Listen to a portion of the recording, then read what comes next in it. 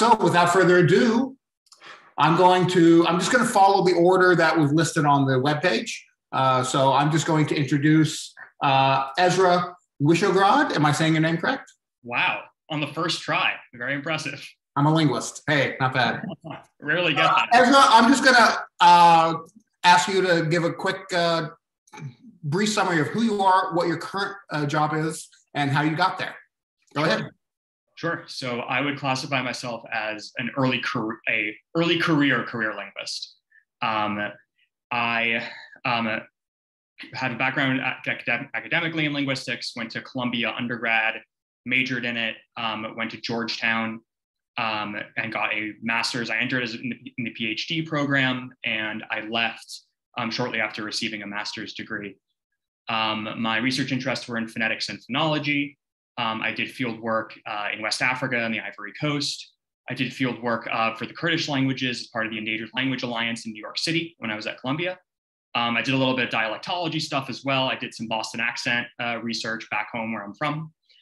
And um, I, um, since grad school, I worked at uh, Expert System USA, which is a definitely a smaller company that um, does uh, defense subcontracting which is uh, Washington, DCE's for um, helping uh, the government out with linguistic type problems, um, document categorization, information extraction, things like that. Um, I'm now working at a, a, much larger company, of course, uh, Amazon, working uh, with Alexa. And I would, I would say caution everyone that hopefully you don't have an Alexa around you turned on because I might be activating a bunch of people's Alexas right now by saying that. Um, but basically, in the past few years, I've gone from um, being a grad student, very academically minded, to a smaller company to a larger company. So I think I've seen definitely a bunch of different scenes in the past uh, two or three years. Great. Um, so give us a sense of when uh, you you started looking towards industry as a career path. Sure. In grad school. So in grad school, and actually it, it comes back to actually one particular experience I had in grad school where um, at Georgetown, the uh, phonetics phonology people had a reading group every Friday, and we had a particularly, for lack of a better term, gifted um, guest speaker that was coming um, and spoke to us about um, to geek out a little bit about epenthetic vowels in Georgian, which phonetics phonology people love, and um, one of the most brilliant talks I've ever heard in my life, linguistics or otherwise. And afterwards, we came to talk about her uh, struggles in finding a job in academia. And it was incredibly disheartening because this was one of the smartest people I've ever met. She had applied all over the world, without exaggerating, to all these different departments in the English and French speaking world to try to find an academic position. And she was telling us, you know, there's maybe three, four, five jobs that might come up in a particular season that are tenure track phonetics phonology. And it was so disheartening for me to hear that you have to travel so far, work so hard, you know, with very questionable returns that, you know, I don't know if I was willing to put myself through that, um, budding family through that. Um, so that was kind of the day where I figured it just might not be worth it, which might not be worth it for me, could be worth it for others, but it just, I didn't really see it fitting into my life. Let me ask you this, Ezra. Hmm. Give me give us an example of a task you do at work on a daily or weekly basis. Just give us a sampling. Sure. Um, well, at least um, at Amazon, for instance, um, one of the things that I might do is, you know, try to look at the current utterances, current sentences that Alexa might be able to understand at, at, at this point, and try to find what what kind of utterances are we not giving our customers? Um, what um, utterances that the data might suggest might be necessary do we not have? And I'm going through a lot of linguistic data to do that. And you know, I'm in charge basically from start to finish on an entire design of I have an idea of something that Alexa should be able to understand.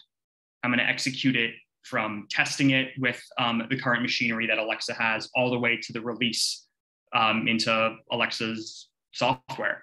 Um, so that's you know something I'm doing every day. I'm going through a bunch of linguistic data and you know seeing what utterances could make us better.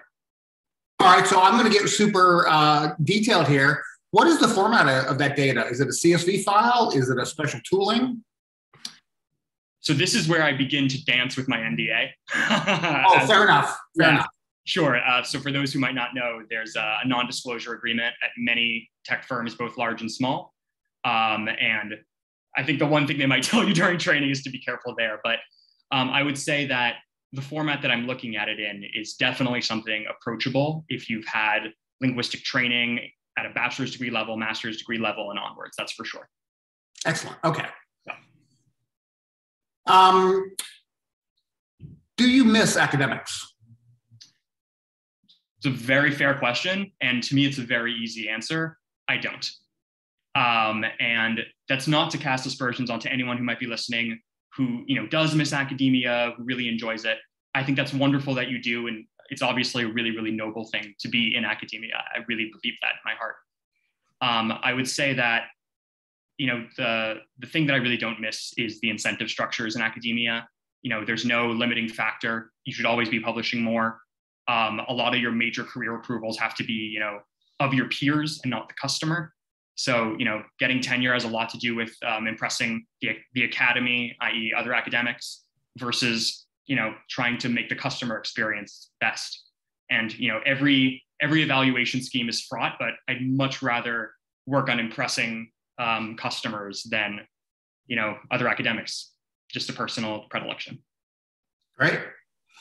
Uh, can you think of a skill you've learned since you've entered industry?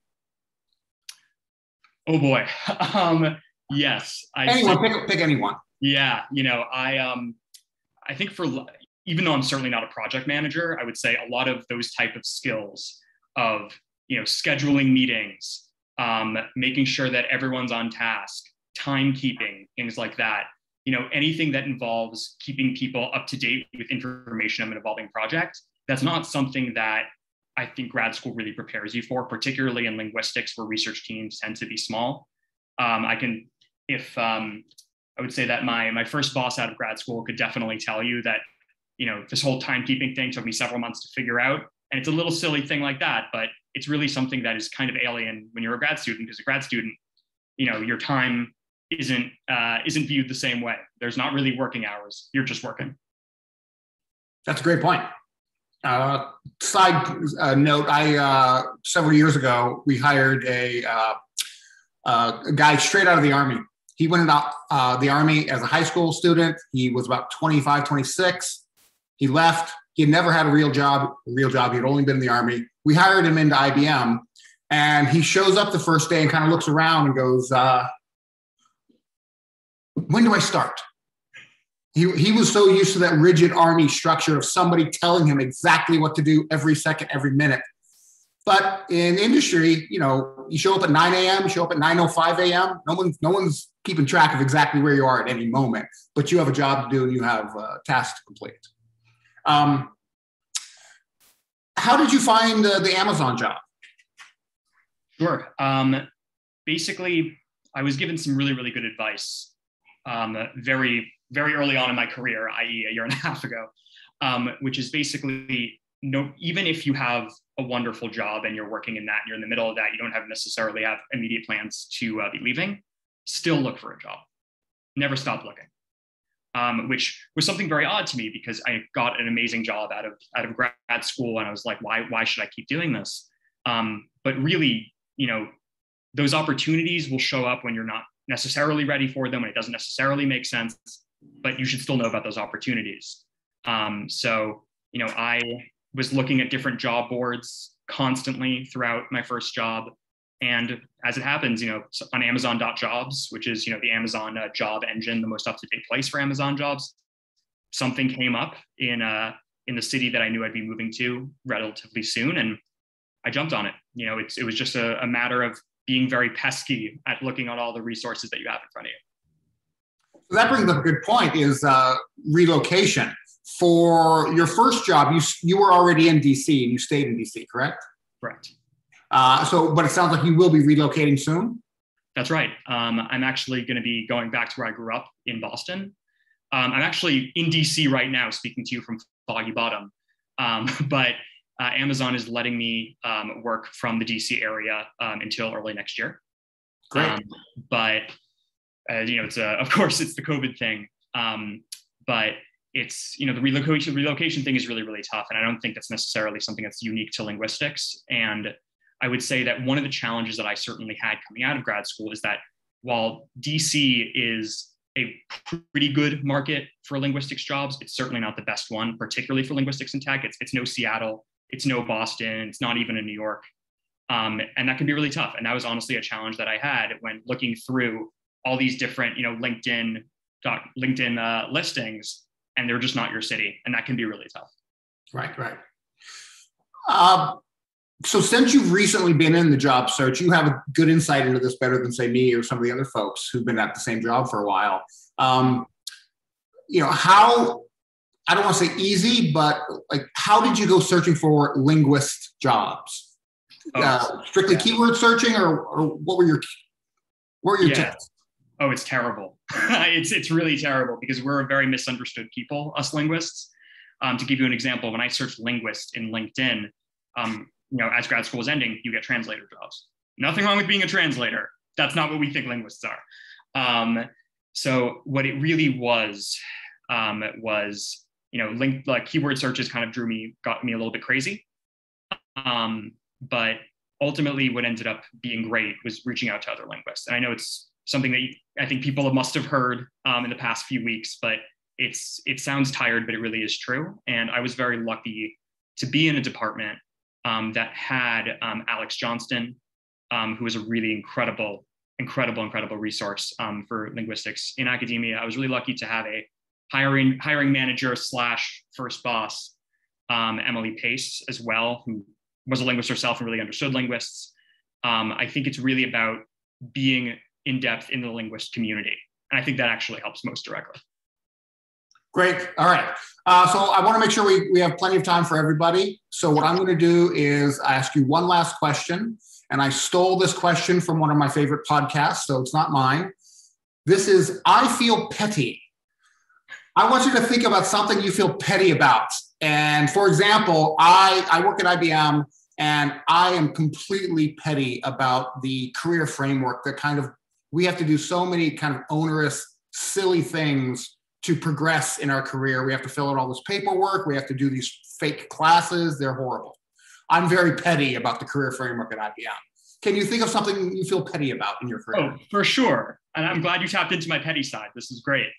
Um, I am definitely most petty about job skill lists um, on, on job sites because I took it as a bare minimum. Here's all the lists you have. Really, it's like a, a Christmas wish list, more, more, more likely. Um, I remember seeing some of them aren't even nonsensical. I remember seeing that some job wanted something like 10 or 12 years of Python 3 experience. I don't even know if Python 3 came out then. Like a, a lot, just like, yeah, a lot of things that are just really like nonsensical. They're not gonna, I don't know what candidate would fill all this. So really just like, I think taking the list of uh, qualifications with a little bit of a grain of salt, I think was something that I really wish I knew at the beginning. I was very petty about that. Great, great. Uh, actually, I think maybe uh, I will ask you one last question because you brought up something that I uh, that I'm going to ask everybody, and that is, sure. what is the role of coding in your day-to-day job? You mentioned yeah. Python. Do you know Python? Do you work with that? I. It's a great question. I know Python the way a linguist would know Python. I don't know Python the way a um, NLP person would know Python. And there's definitely, I think, definitely a distinction there. I've had about, I would say, three courses in Python um, academically and have done it in practice in my last job and a little bit in this job. Um, I would say that even in roles where you don't do coding directly, the thought processes that coding gives you is tremendously invaluable in whatever NLP related job you're doing, even if you're not directly coding. So, like for those who are listening who are early enough in their career, um, well, actually, it's never too late to, to teach yourself anything, but um, I would say for those particularly who are still in grad school, even taking one or two coding courses, even if it's not for the content, it's for the it's for the style of thinking. So I would say. Perfect. Okay, uh, and we will still be able to come back uh, to Ezra uh, later on, but I am going to move on now. I see there are some questions coming up. These are some general questions in the chat. Uh, let's circle back to those at the end, but there's some really important questions there. Um, now I want to move on to uh, Esme, Esme Menendez. Did I pronounce that correctly? No. Nope. I know these. on these. Beautiful. Okay. Okay, but that's okay. Uh, people call me so oftentimes merchandise. So, okay. okay. so uh, I'm Esmé Manandise. I was born and raised in Brussels, Belgium. And I came to the States to uh, study uh, linguistics. I graduated from uh, the University of Arizona. And my thesis advisor was uh, Dr. Susan Steele. I believe she's in the audience today. And uh, when I finished, uh, so uh, my interest uh, in uh, graduate school was formal syntax and Montague semantics and any type of, of, formal grammars. And early on, I knew that I also wanted to go into coding, so I took already courses in computer sciences. So I feel a little of a cheater here. Uh, but uh, I did major in uh, linguistics with a minor in computer science. When I finished uh, my PhD, I actually got three uh, jobs in uh, academia, two in the States, one's in Flagstaff at university there, one in San Jose, and then one at home back in Belgium. And I'm a French speaker from Belgium. So jobs in, at universities are very few and rare. And uh, after by Christmas, I knew that I didn't know, I didn't want to teach about language and linguistics. I actually wanted to do uh, code development and create uh, products that were based on natural language. And so I was in touch with Susan Steele uh, while I was back there, and she uh, kept sending me a job notification that she came across. So I ended up finding a job in the area that I wanted uh, was to develop uh, work on natural language technologies. So my main tenure professionally has been at IBM at TJ Watson uh, at the research center. My last manager was David Ferrucci uh, when he was still big on the so-called Jeopardy. But when he left, uh, we still went working on the, uh, we work on the um, health industry. But another manager of mine was uh, Dr. Michael McCord, who uh, was a mathematician actually, but he developed all this uh, language technology and parsing technology that was used, uh, at, which is and was at the core of the Watson project, the Jeopardy. And while I was there, uh, living the life of, since you are end, you know, of the IBMer, you know, people do a whole career there. Uh, somebody contacted me through LinkedIn, uh, my current manager at Intuit. And um, I usually get a lot of uh, inquiries through LinkedIn, monthly people from various outfits wanted to know if they want, uh, I'm interested in uh, a new job. But this one, rather than being long and tedious, was funny and it piqued my curiosity. And I agreed to, uh, to a job, uh, to a first contact by phone. And uh, uh I thought the problem that they wanted to solve was really fascinating. And I went for the job interview, the formal interview with homework, because in this space of natural language technology, typically you receive a natural language problem for which you have to code a solution that you deliver to the team that's going to do the hiring or, and the interview. And then you, you flow, you go to the interview and you discuss why you implemented it this way uh, what are the possible uh, outcomes and uh, uh the, pit, uh, the pitfalls and all of that. Though I have to confess, it took me three months to accept the offer. Uh, yeah. So, and so I've been with Intuit for four years and a half. And I work on my data is always unstructured, unannotated raw text and utterances. Fantastic. Uh, so I am very familiar with uh, slot grammar, as as a matter of fact. yeah, sure. The grammar that Michael McCord. Yes. Uh, not for the rest of the crowd, but uh, we actually are trying to get that open sourced. Uh, there's still a group of IBMers who are trying to get that released. Uh, it would make so much sense if it were. I would then work on Intuit to use it. Oh, fantastic. Rather than use spaCy and other type of uh, prices out there. Yeah. So that leads to a good question related to the Python question, which is what kind of tools do you normally use, NLP tools, in, in this new Intuit work? Okay, all day long. I, uh, probably half of my time is actual hands-on development, coding directly in uh, Python. Okay, then uh, this company has a very special uh, um, the development mentality, because there is one, is very different from the one at uh, IBM. At IBM, my whole career there, I was developing tools uh, with IBM technology for IBM usage. Here, they like to accelerate things. And so we use a lot of uh, open source um, third parties, uh, code, uh, libraries. And so um, I, uh, I use what's out there. I poke around, go behind the scene, and then I tailor and see uh, what it would take to uh, uh, to adapt it to my end goals. So uh, if it's open source and we can uh, uh, modify directly the code, then I'll just do it. and that's it. Yeah. so you've done a lot of research stuff in, in, your career. So this may, I think the answer may be obvious, but I'll ask it anyways. How important is the PhD to what you do? Or could you do this job with, say, just a master's? Well, I don't think so. For one thing, the two things, I think that by the time you go to the PhD, you really, so you have an idea, that's the purpose of your PhD, you want to prove it, right? And so you not only write about it, but you investigate it and you develop uh, the proof of concept and you test it.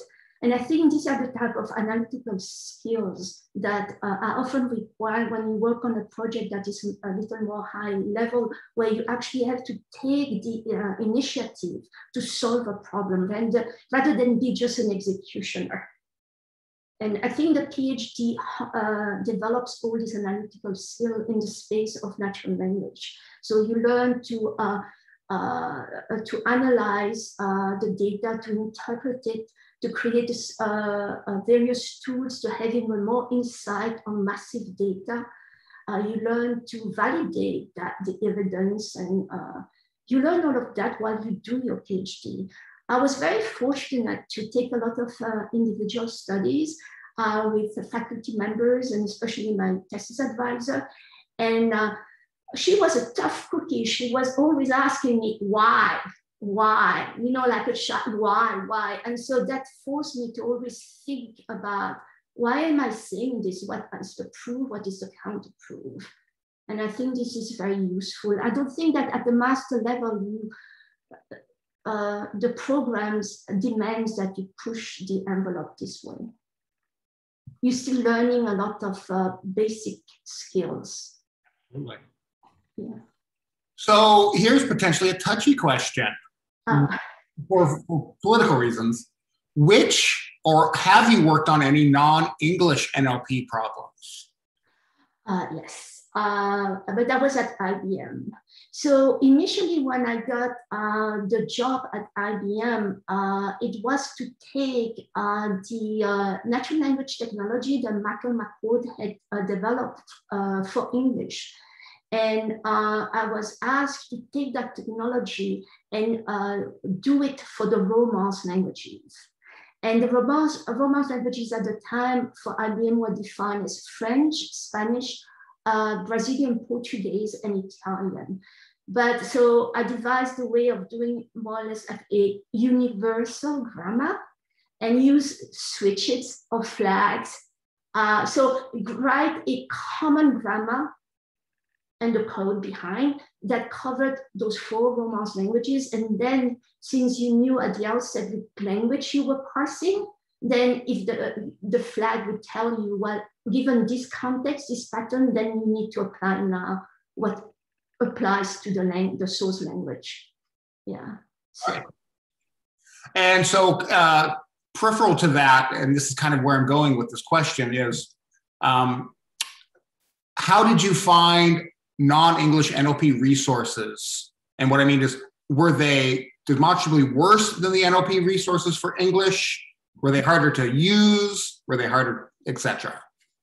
yeah, as I said, actually, because it was within the IBM frame, everything is IBM. So at the time, I didn't look outside the IBM uh, entity. And so all the, whatever texts were available, they were already in-house. Everything was in-house. So there were no looking outside uh, IBM, which is something I wouldn't do nowadays because after four years I've been Intuit. Before I implement anything or looking to implementing something, I go see what's out there. Right. Uh, for context for the for the folks on Zoom, um, generally speaking, the NLP world revolves around languages from rich countries. So English has tons of NLP resources. Mm-hmm. Western European uh, languages spoken in Western European countries have reasonably good NLP resources. Mm-hmm. You go mm-hmm. outside that, that region, phew, the availability and workability of a lot of NLP simply drops off. It's just yeah. a, yes, correct. Low resource languages, yeah. Um, so let's go way back to uh, when you left academia how did you find your first job? I'm not sure you mentioned that. No, I mentioned it through, I, was always in touch with my thesis advisor, and she was sending me, whenever she came across job offers, I mean, job listings, she would just communicate them to me. And uh, that's how it happened. So for me, uh, again, uh, um, it is networking, but it's a type of passive networking. It's word of mouth if you want to. Uh, in that, and I think it works. If people know you, you spread the word, uh, and you say, "Oh, I know such and such person." So I, I didn't have to look for one or, you know, enter anything in LinkedIn for that matter. They just contacted me. I was more fortunate. So, how have you found LinkedIn in general? How long? How long have you been on LinkedIn? Oh, for a long time. Uh, but uh,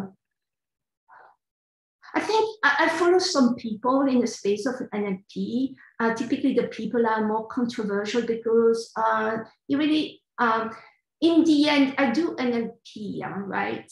Uh, but I find that um, people who do the, the real practitioners of NLP often have been trained in computer science, and they are uh, some spaces like natural language understanding, but I think they they lack the understanding of the granularity of uh, semantics that are needed to put into uh, natural language uh, technology. And uh, so there are some people who are arguing that there's some limits to how much we can do with NLP. And I, I like very controversial, and I typically follow them on LinkedIn because they post things where uh, they are open about their beliefs that there are limits to uh, data-driven natural language approaches. Great. I think we have, there's a shift actually going on right now. I think we're going to go away from this blind faith in massive data to do uh, natural language analysis. Interesting. Okay, great. Well, well he's giving me the thumbs up. Thank you, Ezra. Yeah, uh, traditionally, data scientists have loved big data, right? That's that's they always say, "Well, more data is the problem, and that solves it." But of course, we know that that's actually not true. Yeah. Can you think of some advice you've gotten in your career, particularly mid-career, once you were already in it, that you thought was really, really useful? Okay, I'm going to say this as a woman here. Okay, and I don't know if it's appropriate, but I have to say it. My whole career, I have been the up token in the teams, oftentimes the only woman there. And uh, and what my career advice is that, let's say for the other female uh, linguists, right? Stand your ground, don't be intimidated. If you have something to offer, just um, just discuss it in a cool, scientific way and never think that uh, you can't do the job. That's all. Fantastic. And let me ask you: Have you uh, have you been on hiring committees in your time in industry? Well, I mean, uh, internally usually, not outside. Uh, uh, but within the companies I've held, uh, I do what is called uh, A4A. I assess job candidates. I assess uh, within the company people who want to go up for promotion. And typically, uh, they uh, they never in the field of natural language. It's pure engineering work. But I have to develop uh, that side to be successful. And uh, you know, if you are able to do a PhD in linguistics and develop all these analytical skills, you know, you can learn anything. Thank you. If you have the passion and the willingness to learn it, really, go ahead and do it. And so, what I'm getting at is so when you look at a resume, how do you see that passion? Like, what, what's the kind of things that jump out at you in a good resume? Um, well, this is the question about the hard and the soft skills, right? Um, I mean, it's a little abstract. Uh, I would see how the linguist presented uh, himself, herself in terms of their hard skills, right? But the, I think it's important to enf- uh, emphasize the analytical skills because I think Ezra mentioned that it still irritates me when people ask me, how many languages do you speak? I just can't stand it because people still assume that linguistics is all about speaking languages. That has nothing to do. We well know, and lots in the audience only speak English, right? And they're still linguists, uh, uh, the professional linguists. So the important thing is, is precisely uh, um, make clear all these analytical skills that are developed doing uh, linguistic as a scientific systematic approach of language, right? Data and languages. And uh, make that prominent in the uh, in the resumes because these analytical skills are skills that you can use in software engineering, in design, in taxonomy development, in content architecture. And I think that a, a linguists that are well prepared uh, uh, can succeed in something that, that may be uh, outside of linguistics, but it's possible. So that's what I would say. Oh yeah, and then the soft skill, you assess? I would also see what type of soft skill could uh, indicate uh, the passion and the uh, uh disponibility to learn more, right? Yeah. And in general, over your career, do you attend things like uh, meetups or conferences? Do you do you still stay connected to things like that? Yeah, I try to give uh, one paper or two papers a year, uh, but they typically nowadays they were uh, in NLP and engineering, but they always have to do with natural language. Uh, so, can you name a couple conferences that you generally like to target? Uh, so one, uh, uh, I did the one, the latest one was at the, the Florida um, Artificial Intelligence, Intelligence Society. Uh, the paper was published on one of the things we did at Intuit. Uh, there was another one uh, hosted also by the ACL in Europe, EACL. it was about um, financial narrative. So I tailored the paper to the type of work I do, and I, I, leverage what I've learned by doing, and then I abstract away and share. But in, in practice, typically, the companies are more interested in patents. They would rather have patent submissions than paper published. Yeah, very true. Yeah, for sure. Yeah, so I do at least one patent a year. Right, right. Uh, let's also talk for a moment. Oh, and an important thing, sorry. Uh, an important thing is that don't be a loner. My experience to be best, I always work in team and I do everything. The papers is collaborative, the patterns are collaborative. And uh, never present yourself as the one that always knows best and goes your heart, you ride your horse alone. Uh, yeah, team is better. Fantastic. Yeah, totally agree. Um, so I want to ask real quick about work-life balance.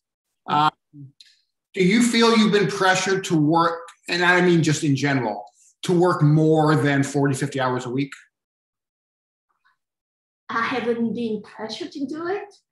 I'm a workaholic. I was already a workaholic when I was in grad school, which means that when there was social event in the department, I was one of the ones who never showed up. uh, but this is a preference, it's my personality, but I haven't been pressured. I, have just learned that I have a family and, you know, but I've learned to uh, just uh, work off time when things are quiet or whatever around the house uh, but the pressure not not by the companies, no. Good. That's very good. Okay. So along those lines, just quickly, is there something non-linguistic and non-professional that you uh, do in your personal life? Are you a knitter? Are you a horse rider?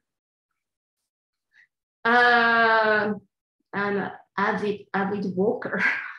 Beautiful. Fantastic. I walk uh, late at night when it's quiet with a dog, uh, by the way, a big dog, a 16, a 60 pounder. So I can feel protected. Fantastic. Okay, I, I am going to save some time at the end for the questions that are in the chat, but uh, let's go ahead and move, move on. Uh, we're going to move on to Rich Campbell. Rich, you've had quite a career. I was looking at your uh, LinkedIn page. So why don't you give us the quick uh, two minute summary of uh, where you started and where you are now? All right. I um, I got a PhD in linguistics from UCLA and um, specializing in syntax. And uh, I originally went into an academic career and I spent 10 years in academic positions, um, two one year positions, and then I went uh, and got a position at uh, a, a, small state university in Michigan and got tenure there and was there for eight years total. Um, about that time, I I had some dissatisfaction with um, various aspects of my career and felt like I wanted to move back to the West Coast, which is where I'm from. And an opportunity fell in my lap. I knew someone who worked at Microsoft Research, a guy I went to graduate school with, and he arranged for me to come out for an interview. And uh, I really didn't think much of it. I thought this is, you know, quite a long shot, but they ended up offering me the job and found it kind of hard to refuse. Um, so we, my wife and family and I moved out here to Seattle uh, about that time.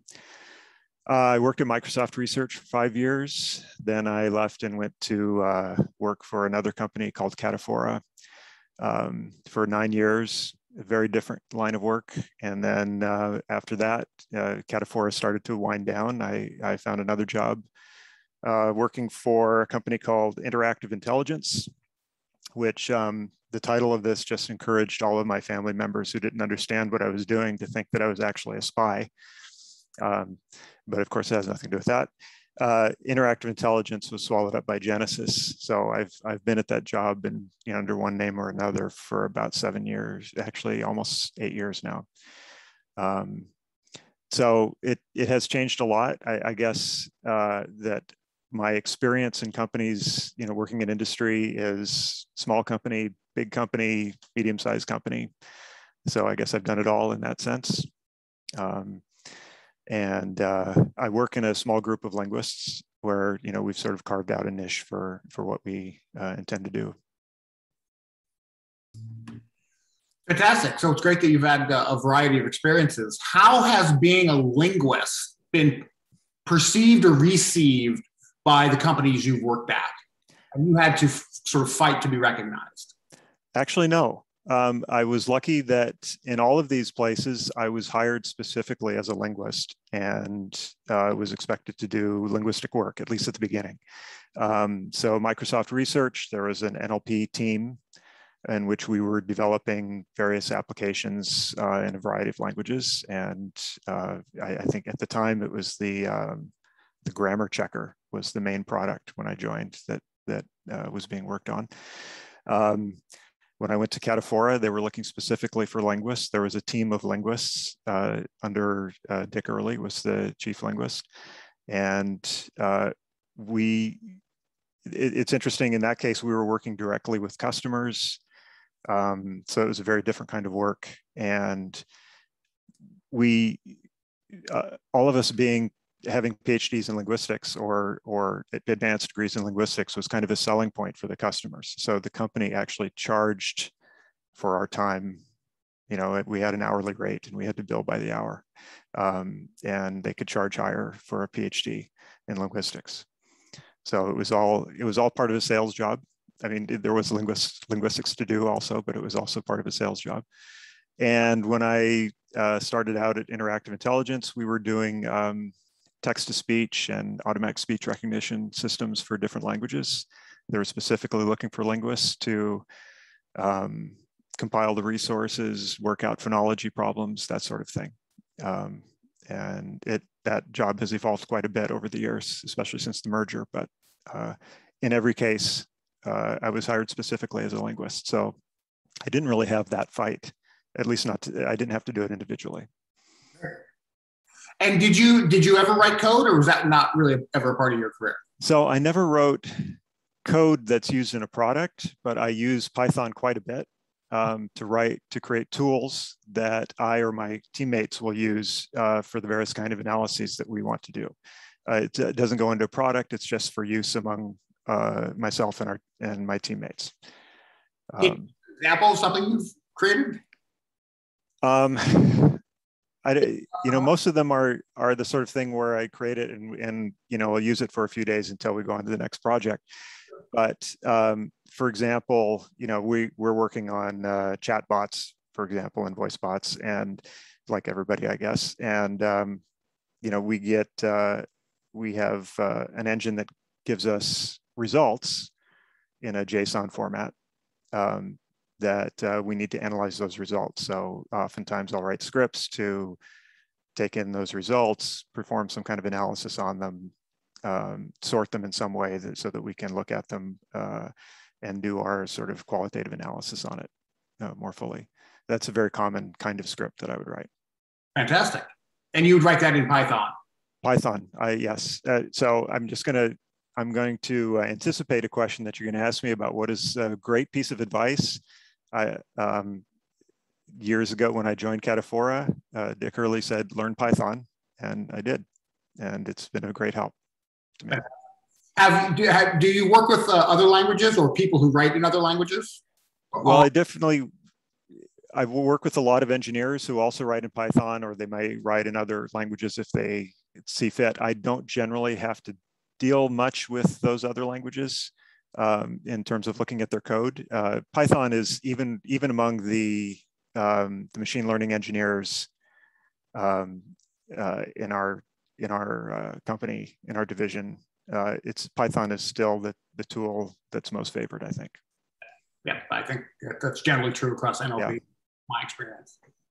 Uh, now, have you worked with any other uh, non-English natural languages? I have, and uh, but again, mostly the rich ones. Um, so you know, we are uh, the things we work on are driven by what the company sees as its needs, and uh, these tend to be um, English, Western European languages, maybe Japanese and Mandarin. Uh, it's really uh, been limited to that, but you know, I have worked a lot on those. Um, both at the, my current job and the previous job, and that we're still doing a lot of that work, trying to expand our our um, abilities into other languages, languages that the company sees as as uh, in its you know sort of near term future. Um, so we're doing that a lot, actually. Fantastic, great. Um, and do you like like in your current role since you've been you're in a senior role, so do you get input into the kinds of uh, products or services the uh, company is seeking to produce or move into? Yes, but um, I get some input. I can't swear that it's all you know paid close attention to, but yes, we do get consulted on um, you know, somebody is developing a new idea for, uh, you know, things we want bots to do in the next, the next generation of bots. Uh, for example, we might get consulted on that. And so we have a, a project that might last several months where we um, go back and forth with them about, uh, you know, how feasible we think this is you know, whether it's really well conceived, that sort of thing. Um, in terms of, you know, directly proposing what kind of products or, you know, we should do this or that, I'm not that senior. Um, in general, as you progress through your career, do you feel like you've uh, had the opportunities that other people in the company that are maybe engineers, et cetera, have had in, in terms of career advancement? So has being a linguist hurt you, helped you, or been irrelevant? I think on the whole, I think it's helped me in that I think that uh, because uh, myself and our and my uh, the team that I work with are linguists. We sort of have this, and we're you know a group, and we refer to ourselves as the linguists, and other groups that are within the AI division refer to us as the linguist team, right? So we've sort of carved out this identity as being the experts in these certain areas, and I think that has helped us, right? That we have. Um, uh, we've been able to, like I said, carve out this, this area of expertise and people come to us with problems and propose new problems that they think we might uh, deal with. And I think it's helped that we're kind of different, right? I, I think that if there's one thing that I've kind of noticed in uh, industry for linguists is that linguists are kind of treated as special in both a good way and bad way, you know, and and that we can benefit from that. And one of the ways we're special is that we know about things that they wish they knew about. And the other way we're special is that we don't know about things that they wish we did know about. So we get special treatment that way too. Right, right, right. Fantastic. Yeah. So I asked this question of Esmé. I'm going to ask it of you. Uh, do you sit on hiring committees? And if yes, what do you look for in new applicants? Um, not committees per se, but I do sometimes review resumes if if it's something within our group or in a, a closely related group.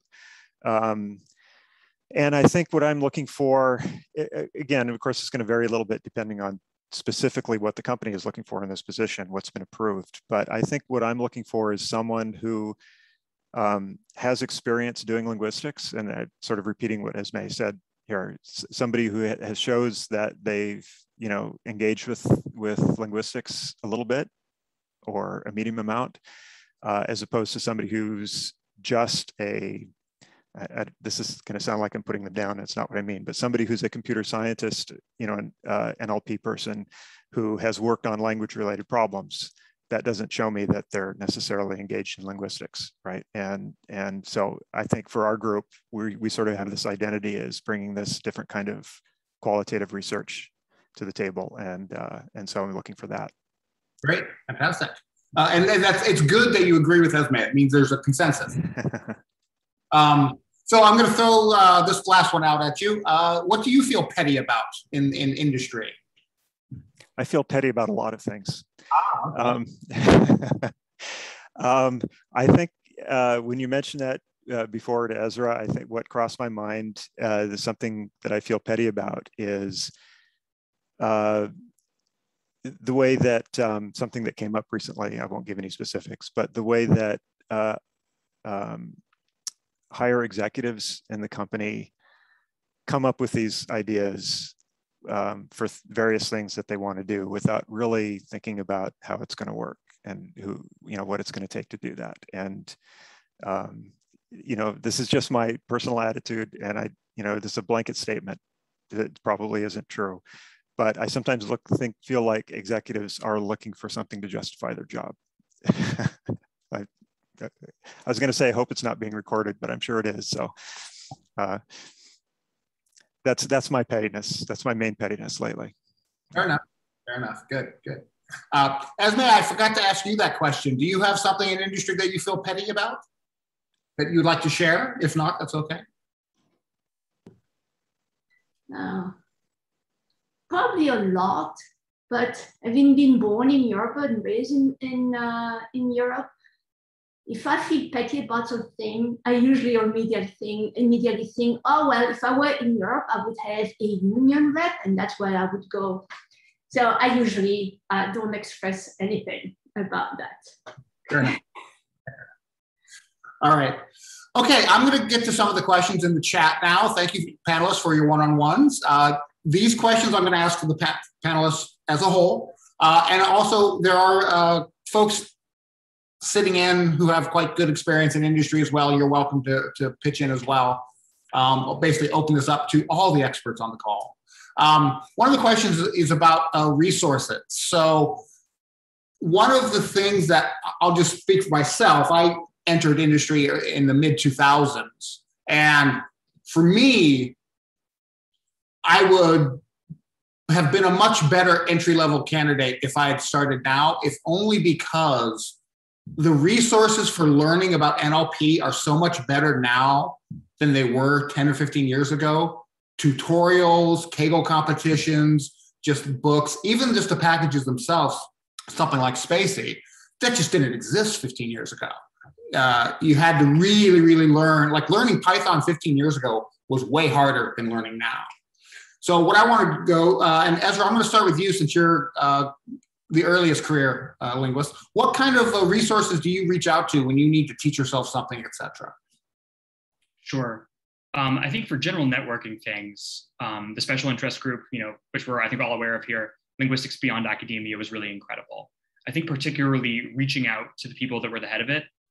Um, I think it's it's been shown in my experience. I think that none of those linguists are above talking to a new career person. And it's really been a beautiful thing. I remember early on when I was really wondering what I was going to be doing with my life after a linguistics degree, reaching out to Laurel Sutton, who has a bunch of experience in the, ling- in the professional linguistics world, very willing to talk to me. And I think that's kind of been the feeling um, that I've had in, in reaching out to people. So I think definitely that special interest group was a really, really big thing for me.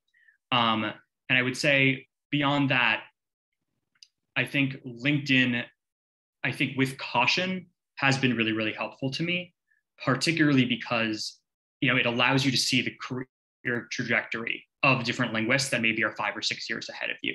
And I found that to be incredibly helpful. It's incredibly helpful internally, even within Amazon, where you can see what kind of roles people are going to and what kind of companies people are transferring to and what people's you know jobs were coming out of uh, grad school. I think those two resources I think were incredibly helpful and I'm sure there's more, but that's definitely what worked for me. Great. Esmé, you work with a lot of, uh, it sounds like you do a lot of just uh, uh, core coding. Um, do you find yourself reaching out to uh, online resources, et cetera, to teach yourself how something works, like say spaCy or et cetera, or do you try to figure it out yourself? What's your method? It's a mix of of both. But of course, uh, since I have uh, basically uh, a lot of, I have to find solution on the go quickly when I'm programming something. So I use uh, Stack Overflow a lot yep. to check a few things. Yeah. And so you learn to do it and you learn to develop intuitions about what to trust, you know, quickly skim through it. But that's one of my main uh, resource for on the spot clarifying coding something uh, but uh, one of the things that I've had to learn uh, is to be very self-sufficient uh, in this uh, space. Uh, all the toolings that I have to use, the platforms, and you just do it. But I have to say, this is an anecdote, but it it's interesting. I have a summer intern. She's a rising junior. Uh, from Caltech in computer science, and she's working on a problem uh, with me, uh, for me and with me on a CUI, conversational user interface. And one of the problems is intent classification, right, for customer care. And uh, she had absolutely no background in NLP, nothing. Yet it's an NLP related pro uh, problem, a very important one uh, for Intuit. And uh, one of the resources, she took the initiative, she signed up on Coursera and some other online course, and she completed some NLP courses over the weekends early on. And these are resources that I would uh, recommend to people early in their career as major in linguistics to look at what's available out there. And they were very well done and they're given by specialists. Uh, I've checked a few of them to see. Uh, I know. Fantastic. Rich, do you have any uh, other resources you reach out to when you need to teach yourself something? Well, I just want to, you know, second the uh, the idea about Stack Overflow, which I use practically every day, and um, and also Coursera is a great resource, or if you can find a course of something you're interested in. Other than that, I think that you can find a lot of things online. I mean, everything's online now, right? So if you if it's a problem about some specific, you know, spe- Python specific problem, you could just look into the Python documentation, which is all online uh, for you know looking up a particular module and figure out how to do it. I use that a lot. Um, it's just really, I think, just being able to use the search engine and finding that stuff and knowing what you look for, what to look for is very helpful. And then coworkers, you know, I have coworkers that have a different background and, and, you know, it's their job to know a lot of stuff that I don't know. So I, I don't hesitate to ask them.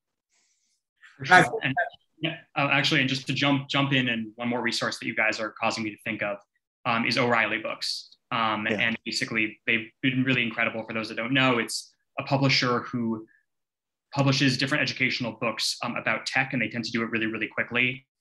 Bare bones illustrations kind of stuff. I'm reading one right now about um, VUIs, voice user interfaces, and they can be really, really cutting edge. You know, they don't wait for publication like a lot of uh, other more corporate textbooks do, and that's been tremendously helpful early in the career. And I think many O'Reilly books are published both on a physical for cost basis and given out as a free PDF. That's right. Absolutely. Doesn't cost that much. Yeah. Um, I, th- this is not so much a question, but a lot of us are working on chatbots now. Uh, it's just it's just a big thing, and I, I just wanted to point out to everyone, and, and I, I would like to kind of start a discussion here with with the professionals. Is I just saw a blog post, and I, I can try to find it and put it in the chat about a um, chatbot designer who had discovered Gricean maxims. And uh, for those who don't know, Grice's maxims are these conversational principles about how people cooperate in a conversation, make things relevant, make them uh, short, etc. And uh, she'd wrote, written up this really beautiful uh, blog post about how she was using Gricean maxims to make her chatbot better. And the conversation starter is, is what a brilliantly non-engineering expertise that is, right? Like you, that's not an engineer's expertise, but it's going to make a chatbot incredibly better if you have an understanding of that. Um, for those of you working on chatbots, kind of what kind of non-engineering linguistic things are you bringing to those developments? Like understanding turns and things like that. Uh, can I go? Go ahead. I mean, um, one of the things that uh, I, we are working, me and my uh, intern, is uh, the three classifiers that we have created and train after some model.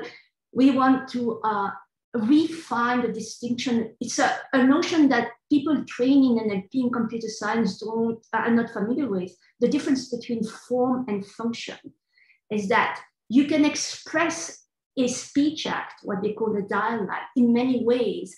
Uh, uh, and so, for instance, here, let me give you an example. In the customer care, offer, uh, there is this uh, request for a, a live help, and it is, give me a live person now, you, and on and on and on.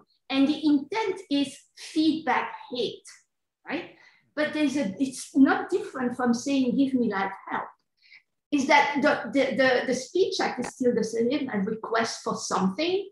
It just happens to be a, in the a bad, abusive language, right?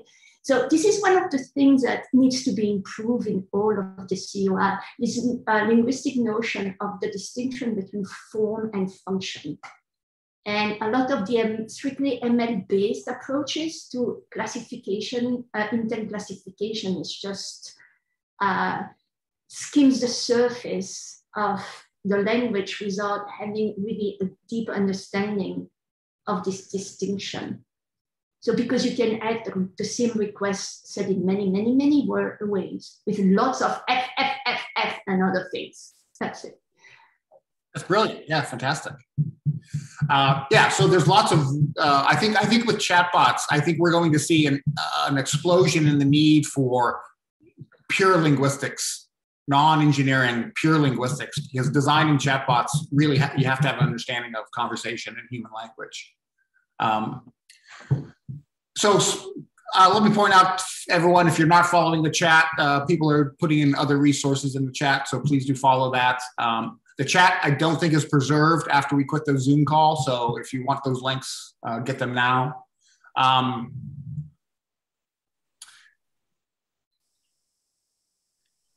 there, there is as much um, uh, not resistance, but but there seems to be as much anxiety in the linguistics world now as there was when I entered 15 some years ago about whether or not linguists really fit in engineering companies. I think we've gotten a pretty good sense from our three panelists that that's not true, that they do. But I, I want to go to the panelists and say, you know, um, have you encountered anything that you would call resistance to being a linguist on the teams you were on that you had to kind of overcome?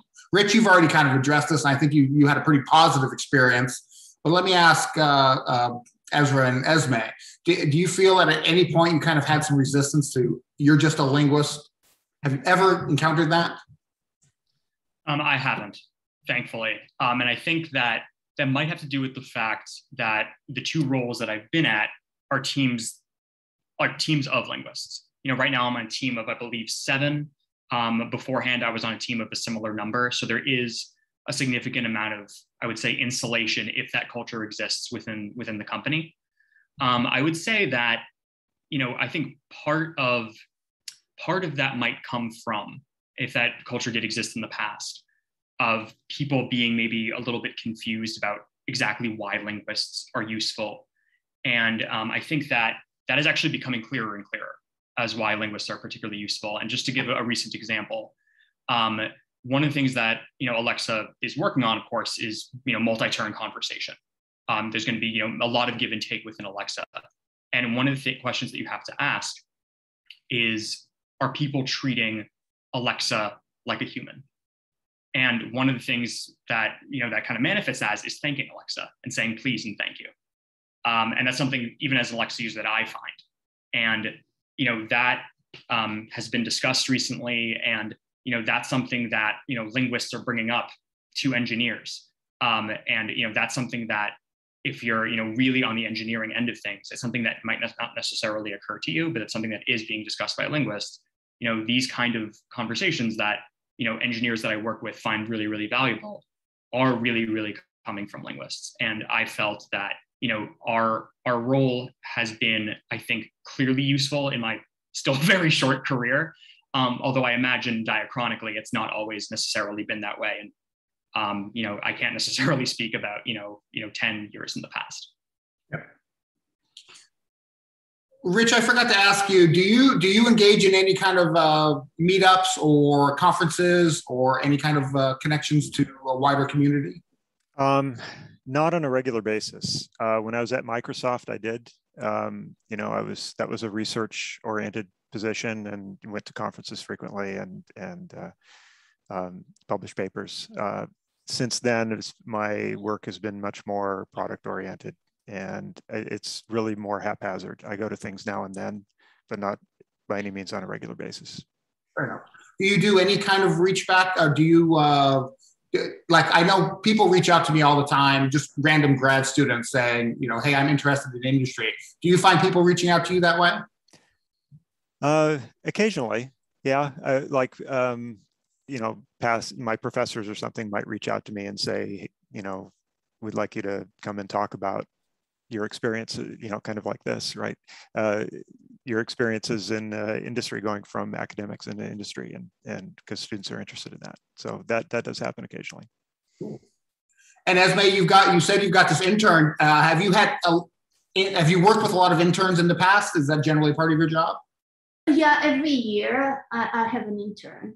And uh, uh, Intuit is really actually an engineering company. So all the interns that I work with are people in computer that are in computer science programs, and uh, they typically work on an engineering problem that I'm working on, uh, but that uses natural language somewhere, right, as input or whatever. Uh, I never stray far from that, that type of data. Don't worry. Uh, but yeah, every year I work with somebody and uh, they always end up uh, learning something about natural language. Oh, Fantastic. Oh yeah, yeah. Ezra, let me flip it on you. Uh, did you do any internships? I didn't.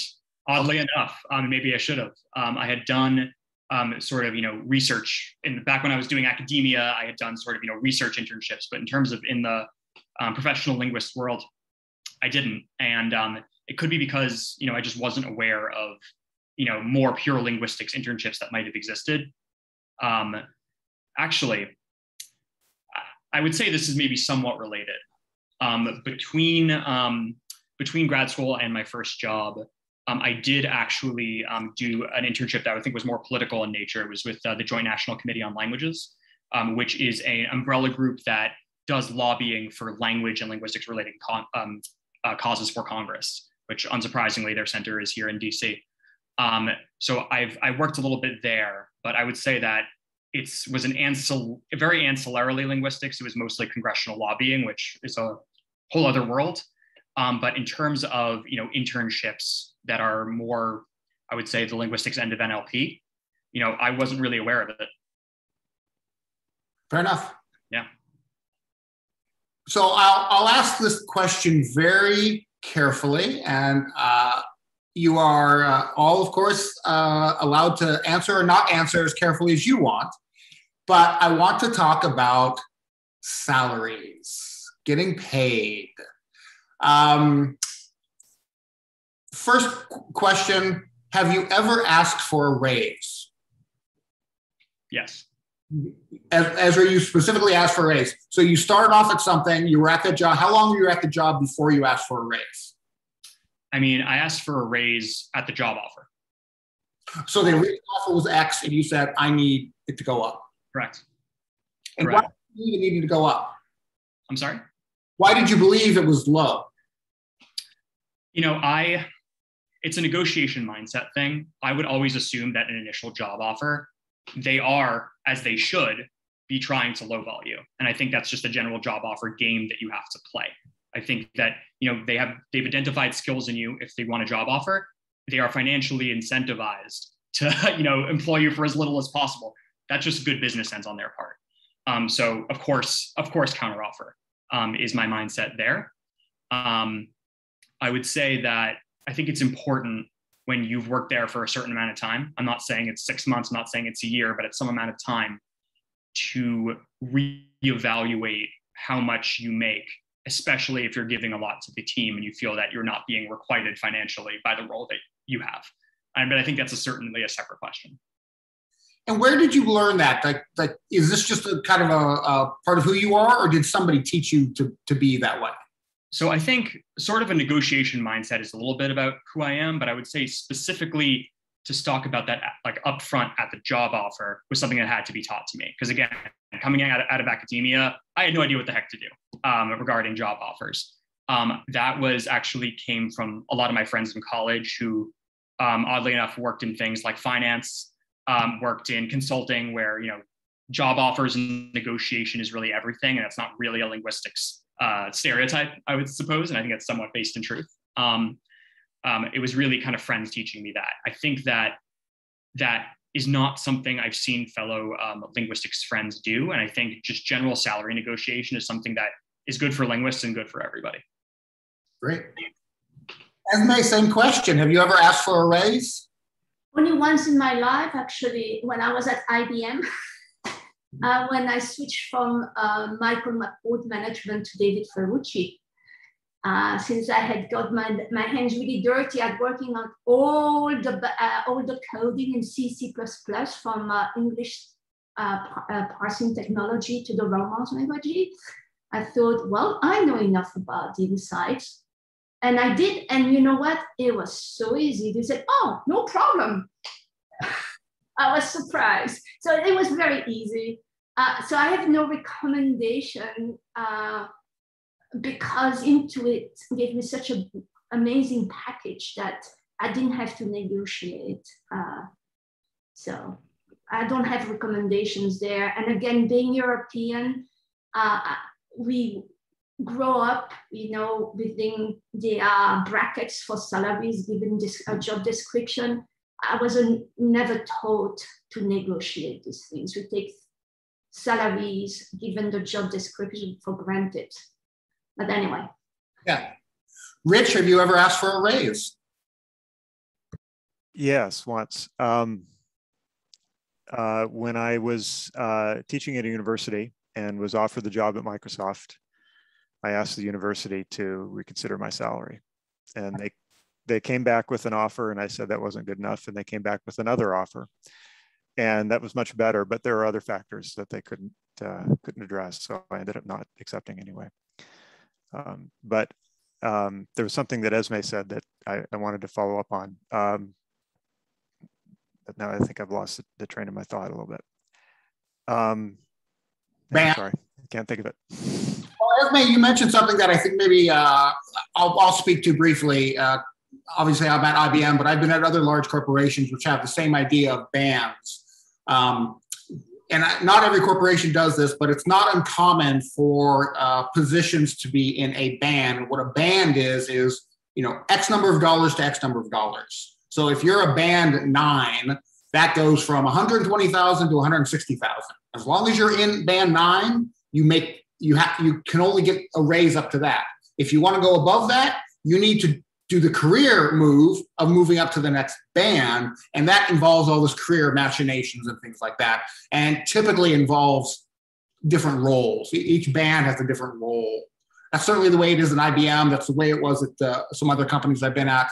Uh, uh, yeah, I um, yes, uh, sorry. Um, I would say that there's um a couple of good questions I think uh, posed by Alex um, in the chat that I think it was something I was I was passionate about mentioning anyway, and it's particularly about doing individual research on companies that you're applying to, um, and also salary ranges for entry level positions. I certainly agree theoretically um, with that point. I think one of the challenges that um, I've had is that linguist jobs are rare enough, which makes sense. I mean, not everyone's a linguist, very rare choice, um, educationally and career wise.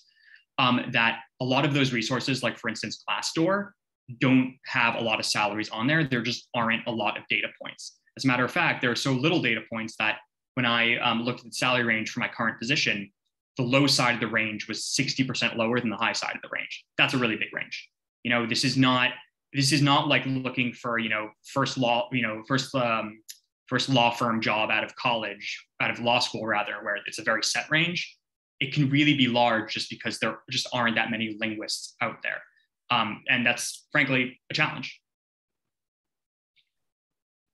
absolutely uh, and uh, there's a good point to also be made that salaries of course dependent on region where you know cities etc but it's also dependent on small, medium, and large companies. Large companies tend to be much more rigid in their salaries because they're dealing with so many people, they can't have that much negotiation. They, just can't allow a 60% range. Whereas a small company can often really go back and forth. It kind of depends on how ambitious and, and how comfortable you are negotiating that. Um, yeah, I don't know that I can speak to entry level uh, salaries. Like, what is an entry level salary? I don't know. I was never entry level because uh, I jumped. I jumped from uh, being a grad student to, to being uh, essentially a product manager, and that's a bit rare. So my so my jump was a, was a bit unusual.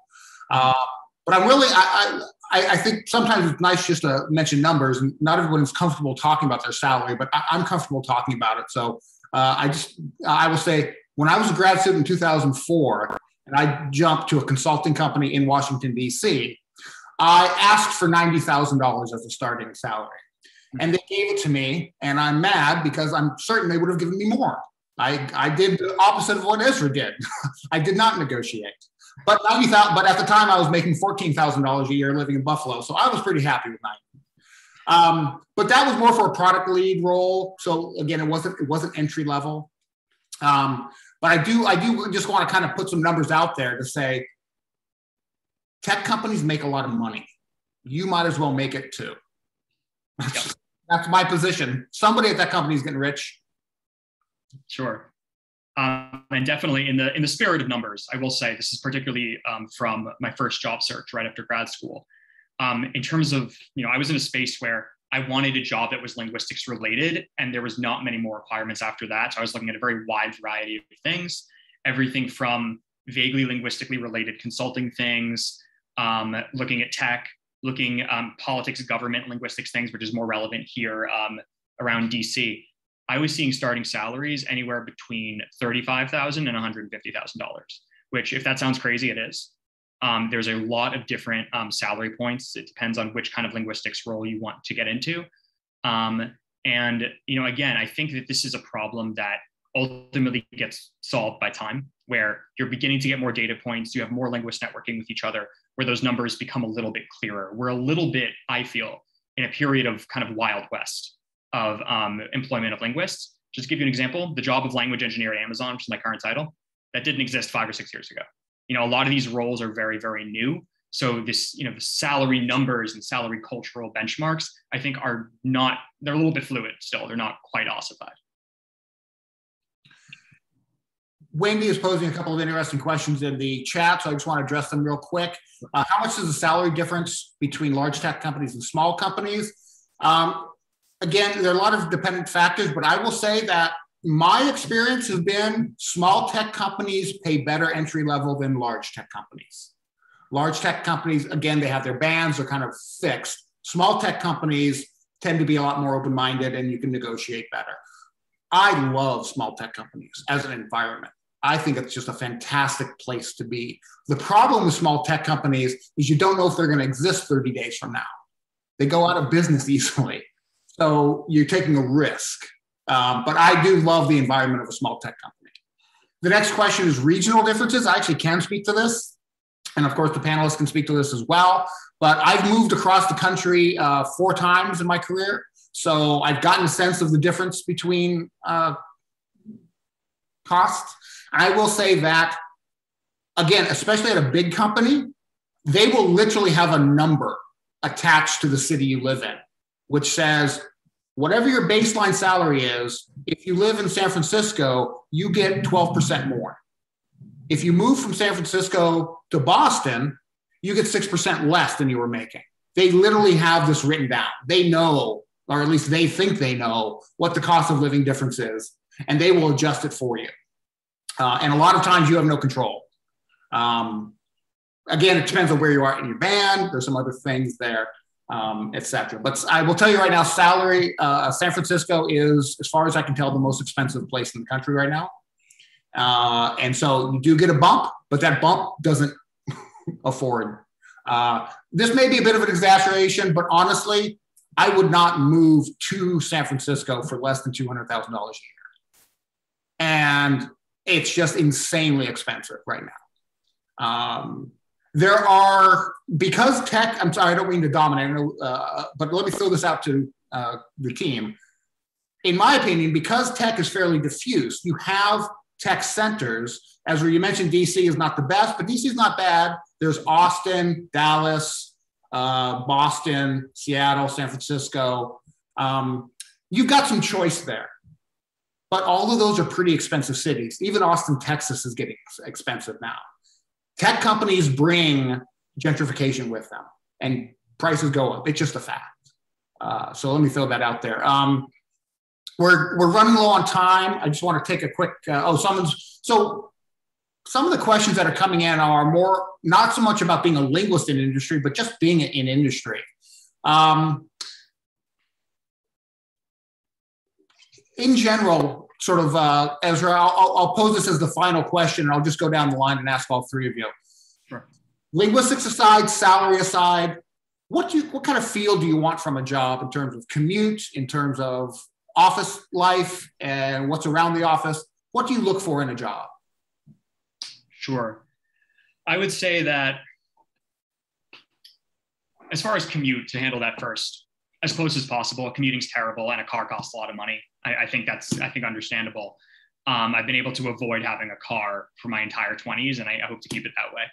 Um, I would say, like from from an office, I would say that I want an office that not only um, do people feel comfortable communicating with each other, but there's really, really good cross team communication. Um, there was a book that I read um, in my first job, um, thanks to Emily Pace, um, that's called Team of Teams. Um, it's written by General McChrystal. Um, and I think it's a really, really good example of a place that I want to work in, which is having teams that interact really, really well with each other and not being siloed within each other. And one of the things that I liked about Expert System, one of the things I like about Amazon, and I would hope to have in future roles as well, is teams that are comfortable interacting with each other and not just through choke points. I think that's something that, from a corporate structural point of view, is really, really important. As far as other things, just general flexibility, you know, getting being able to get off for religious holidays, relevant to fellow Jews and definitely to Muslims as well. Um, and I would say also making it really, really clear how one moves up. I think that kind of clarity is really important. We do have that at Amazon, which has been great. Um, it doesn't always necessarily happen. So, a place where if your career progresses with that particular corporation, knowing how to do it from the jump. Great. Esmé, what do you look for?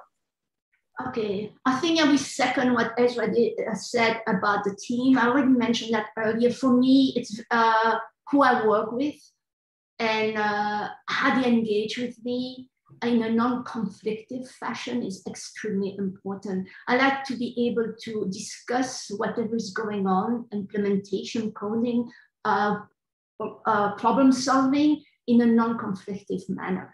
And uh, that's the most important uh, thing. And I want always the group uh, to be accountable as a group for whatever happens. Okay, above all in the field of engineering, when there are problems, it's collective, not single out anybody. That's very important for me. Uh, dialogue and also respect for my expertise. If somebody did not respect my expertise and belittle it in any way, well, you can, uh, I would not go for that. Uh, I would be very outspoken about it. And uh, so basically, no discrimination of any type. Fantastic. Rich, what do you look for? Um, I would definitely, you know, second the idea about uh, teams being able to work together. I think that's very important. Uh, being able to work with your teammates, you know, that these are people you can get along, not just work with them, but you have to have water cooler time, right? And so there has to be some kind of chemistry fit there as well. Um, and um, I have worked remotely for 17 years, so I don't commute.